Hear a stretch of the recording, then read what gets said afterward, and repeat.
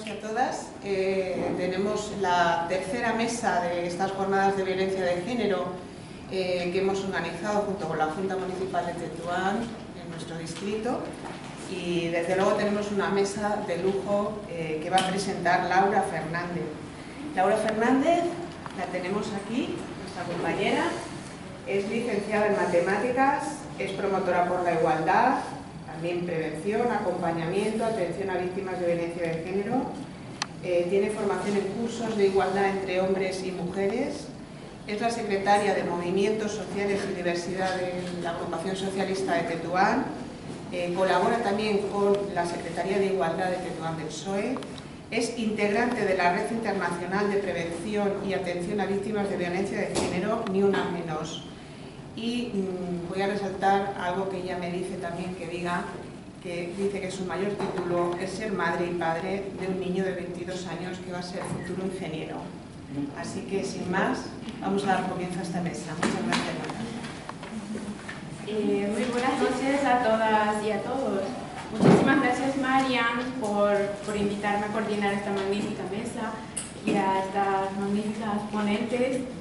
Eh, me gustaría eh, dar una cronología de las víctimas mortales de violencia de género del 2019, que ya van siendo 51 mujeres asesinadas por sus parejas y, exparejas. 1027 eh, desde que empezaron a contabilizarse desde el 2003. Es una barbaridad. La violencia de género ha sido y sigue siendo una de las manifestaciones más claras de, la desigualdad, eh, de subordinación y de las relaciones de poder de los hombres sobre las mujeres. En pocas palabras, las mujeres sufren violencia por el, mero hecho de ser mujeres y las víctimas son mujeres de cualquier estrato social, nivel económico, educativo. Eh, continuando con las jornadas de violencia, tenemos un tema a tratar, un tema muy importante a tratar, que son factores intervinientes de la violencia machista, consecuencias, atención integral. Voy a presentar a, mi compañera eh, Juana Molano Rodríguez, psicóloga sanitaria, máster en violencia de género, técnica de formación en igualdad de género, con experiencia en atención psicológica de población inmigrante, miembro de la Red Internacional de Prevención, Atención y Apoyo a Víctimas de Violencia de Género, ni una menos, actualmente vinculada al Servicio de Víctimas a Invictas, Servicio para la Recuperación Integral de Mujeres Inmigrantes, Víctimas de Violencia Machistas y de Género, en la ONG ACHES, Asociación de Chilenos y Chilenas en España, coautora del libro La igualdad como valor social, un análisis de la igualdad como base para la lucha contra la violencia de género. Muchas gracias Juana por tu presencia y te cedo la palabra. Muchas gracias. Muy buenas noches. Eh, agradecer a Marian, a Laura, a las personas organizadoras de, esta jornada, como la presencia de todos y cada de eh, que hayan sacado tiempo, que hayan dispuesto a pesar de la lluvia a presentarse y, y significa que tienen, están concienciados con el tema, están comprometidos y eso tiene un gran valor.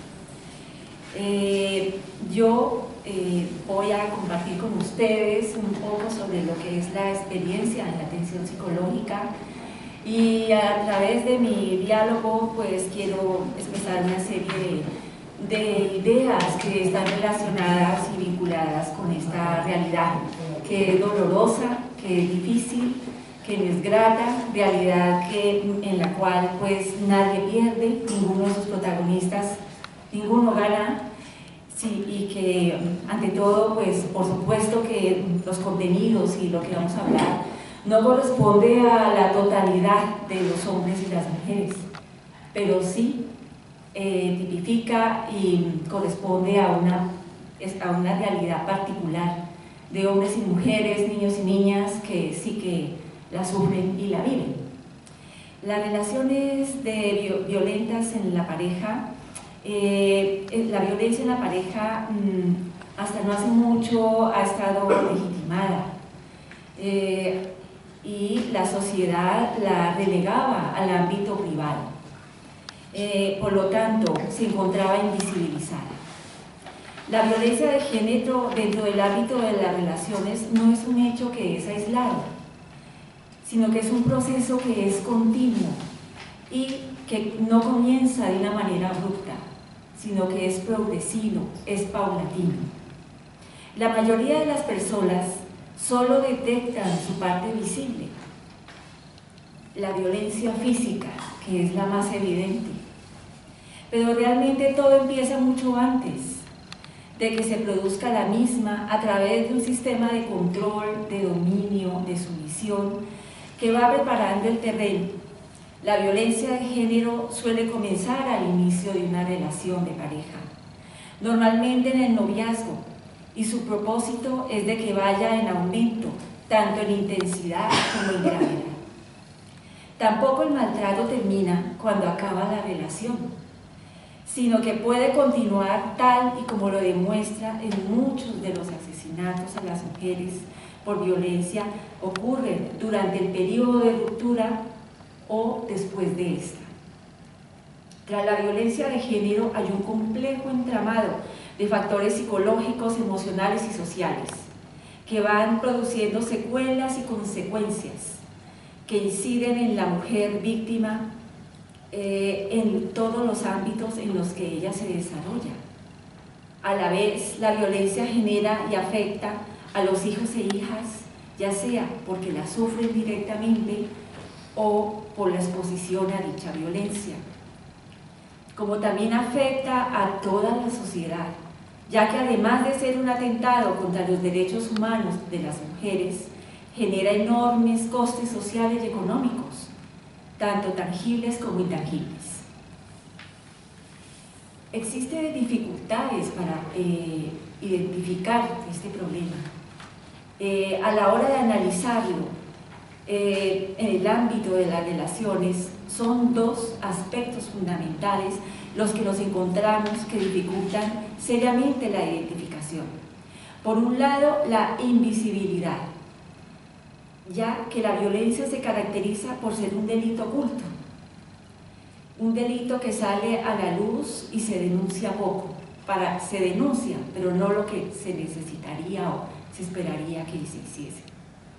A esta invisibilidad del problema también contribuye que el delito suele ocurrir en los espacios y ámbitos privados dentro del hogar, dentro del seno de una familia, Además se encuentra una resistencia tanto del maltratador como de la víctima para mostrar lo que ocurre. Todas estas razones no son motivos aislados, sino que se retroalimentan mutuamente. Por otro lado, se produce la naturalización de la violencia, es decir, se da un proceso de normalización y habituación. Está demostrado que la exposición repentina a cualquier grado de violencia afecta y disminuye la conciencia crítica y la percepción y de rechazo de la misma,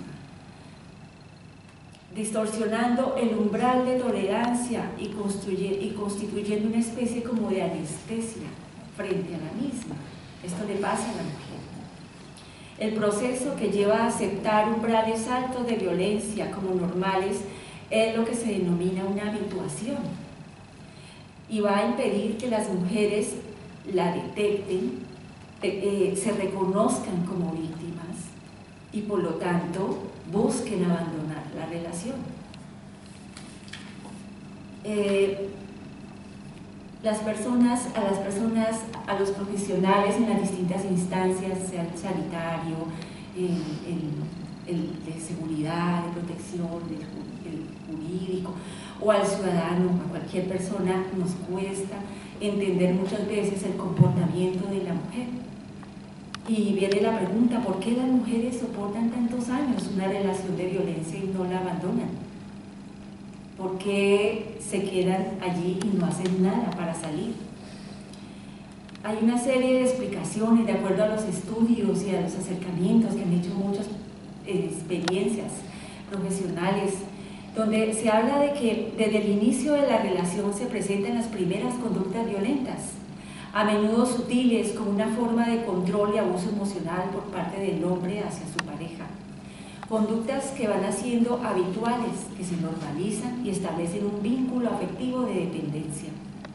El abuso psicológico y maltrato físico ocurren de una forma alterna, en fases de agresividad y afecto, por lo impredecible de su ocurrencia, por la incapacidad de la mujer muchas veces de evitarlos, por la falta de motivos por los que se originan muchas veces, por la repetición de los mismos, se va produciendo en la mujer un grave y progresivo deterioro psicológico que afecta su capacidad para tomar decisiones y para salir de la situación.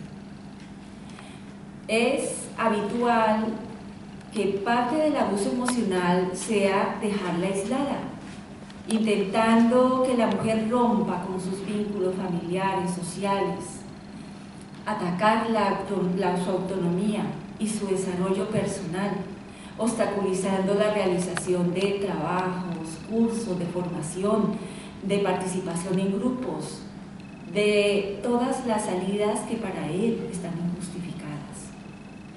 La mujer se siente impotente, pero como es duro decirlo, muchas veces sigue recibiendo lo que necesita para un sobrevivir, entre comillas. Se va creando una relación de dependencia, lo que significa que depende de la misma persona que le anula. ¿Por qué las mujeres soportan esos años, tantos años, la relación violenta? Existen una serie de mecanismos mediante los cuales las víctimas quedan atrapadas dentro de esa relación, además de los mencionados. El agresor es el hombre con el que la mujer mantiene un, o mantuvo una relación afectiva, con quien comparte, compartió un proyecto de vida común. Los sentimientos hacia él son complejos y ambivalentes y las secuelas más graves son mayores que ante una agresión sufrida por parte de una persona eh, desconocida. La mujer tiene sentimientos de vergüenza por considerarse incapaz de protegerse y proteger a sus hijos e hijas, fallando en su rol de cuidadora y de atención a las necesidades de su pareja y grupo familiar. Como tiene sentimientos de culpa de haber elegido un hombre violento al que ella considera que no puede cambiar. Otra forma de autoprotegerse se da al minimizar, incluso al negar los malos tratos cuando se le pregunta. La mujer siente que no puede controlar la situación y esto la lleva a no actuar. Eh, existen una serie de consecuencias eh, a nivel físico, sexual, consecuencias en la salud mental de la mujer. Eh, estas consecuencias se, eh, entran a, trabajar en lo que es la asistencia psicológica. En, algunas de ellas puedo especificar hay síntomas inespecíficos como apatía, cambios en los patrones de sueño, la alimentación, sentimientos de miedo, ansiedad, eh, somatizaciones como cefalea, dolores abdominales o las lesiones en sí traumáticas generadas que van desde pequeños cortes a contusiones, incapacidades graves o la muerte. Consecuencias sexuales y reproductivas, por supuesto, pérdida del deseo sexual, prácticas sexuales de riesgo, embarazos no deseados o de alto riesgo, consecuencias en la salud mental, estrés intenso, trastornos de estrés postraumático, trastornos cognitivos, sentimientos de vulnerabilidad, se atribuyen la culpa y la responsabilidad de lo que está pasando, dificultades en su concentración, eh, un elevado control interno a sus reacciones, a sus sentimientos, para no generar malestar y las reacciones abruptas del, maltratador, trastornos relacionales de dependencia a su agresor, eh, interiorización del machismo, la incomunicación, el aislamiento, sentimientos de subordinación, de dependencia, de sometimiento, trastornos en su estado de ánimo depresivo, pérdida de su autoestima, desesperanza, trastornos de ansiedad. También encontramos consecuencias en la salud y el comportamiento de las y los menores expuestos a la violencia. Dificultades emocionales como ansiedad, baja autoestima, sentimientos de culpa, ira, frustración. Dificultades conductuales, inquietud, déficit de atención, conductas regresivas.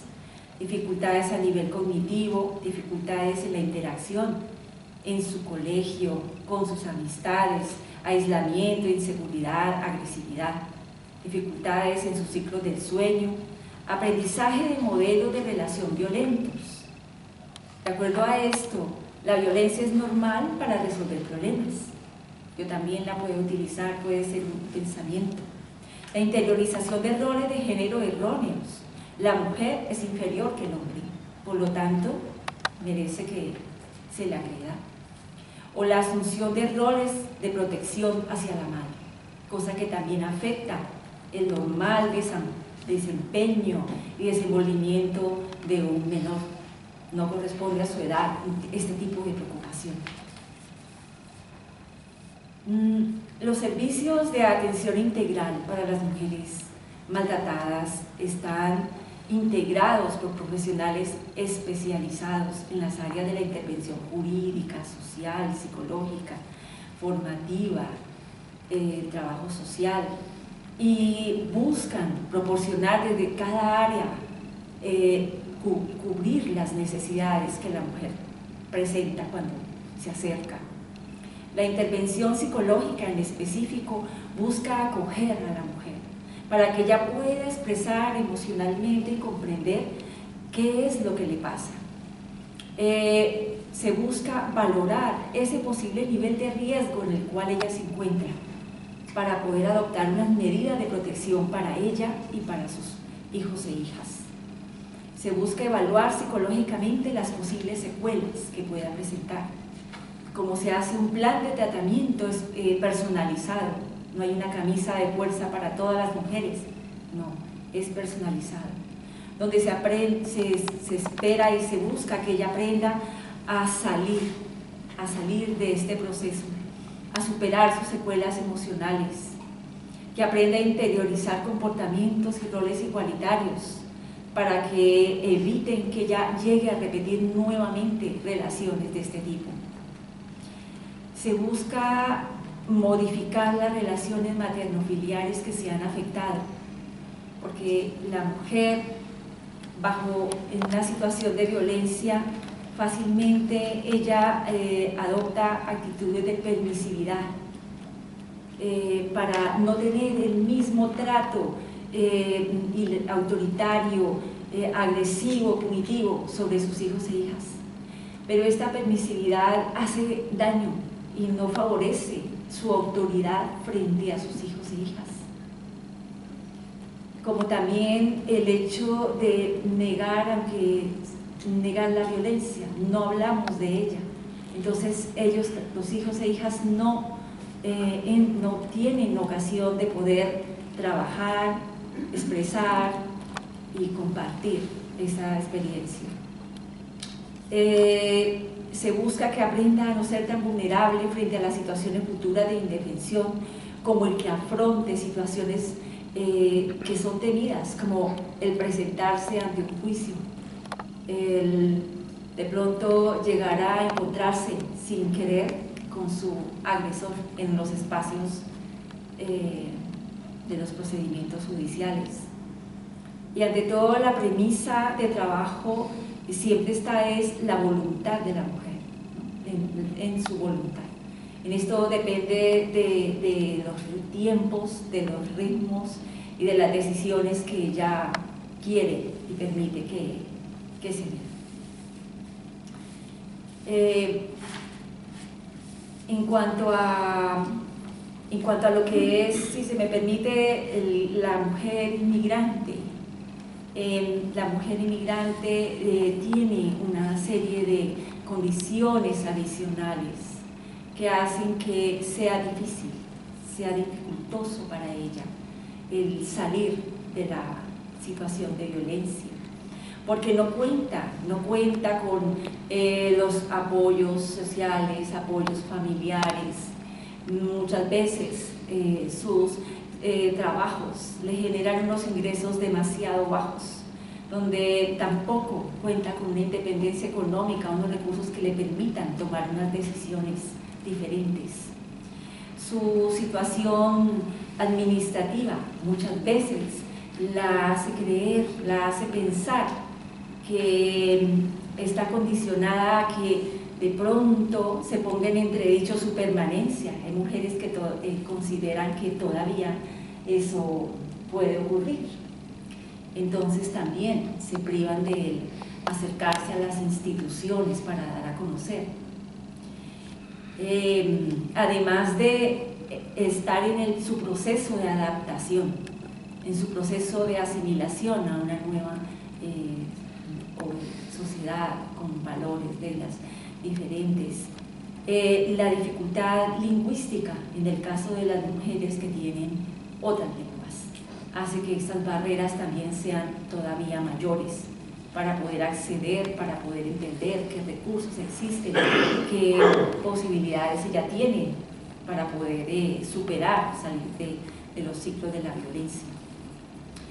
Em, es fundamental, digamos, en España, desde hace ya años, la sensibilización y la conciencia social de rechazo a la violencia de género, pues se ha conseguido, pero es necesario aún aumentarla, incrementarla y perseverar en ella solamente así como fenómeno social, político, cultural, porque eh, tiene el englobe de todo, será posible el conseguir un cambio. No solo corresponde a la mujer, no solamente es un asunto de ella el resolver la situación, de ir, denunciar, y no está solamente en sus manos el hacerlo y el lograrlo. Se necesita también el seguir impulsando a las instituciones como lo están haciendo, a las instituciones educativas, contenidos que sensibilicen, que formen en esa educación igualitaria, en los comportamientos solidarios, tolerantes, el rechazo a la violencia en todas sus manifestaciones, especialmente las dirigidas en este caso a las niñas y a las mujeres. Si deseamos ayudar efectivamente a la mujer que sufre malos tratos, no emitamos juicios de valor sobre su situación. Creámosle lo que está contando. No culpémosla de lo que está sucediendo, no la inculpemos de lo que está sucediendo. No le digamos que tenga paciencia con el maltratador, que el tiempo cambiará. No subestimemos las consecuencias de lo que está haciendo no influyamos sobre la mujer para que quite la denuncia, ya que Dios hace, ¿no?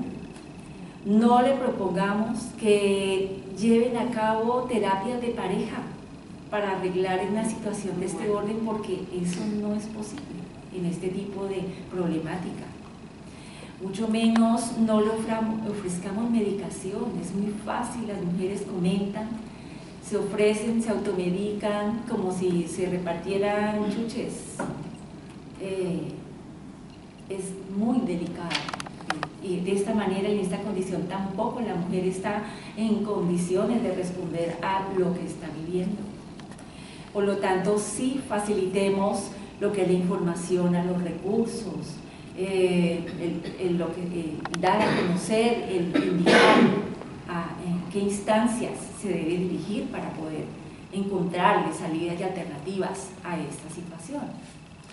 Eh, yo les quiero dar las gracias y hasta aquí llega mi exposición.